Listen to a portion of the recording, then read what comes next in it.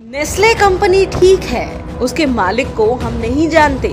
Procter and Gamble भी अच्छी है, नहीं पता कि उसका मालिक कौन है। कोका कोला और पेप्सी भी ठीक है, उनके मालिकों का भी नहीं पता।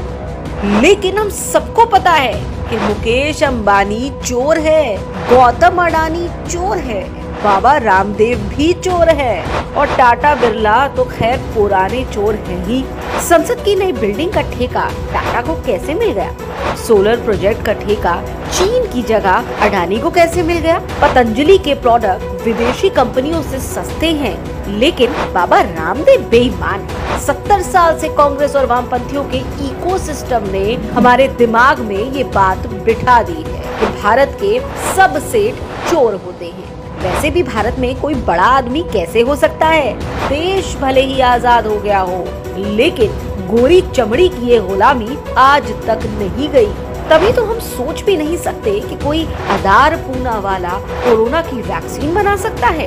ये कैसे हो सकता है कि दुनिया भर के देश भारत की कंपनी सीरम इंस्टीट्यूट की तरफ़ टकटकी लगाए देख रहे हैं? हमने तो सोचा भी नहीं था कि महिंद्रा एंड महिंद्रा वेंटिलेटर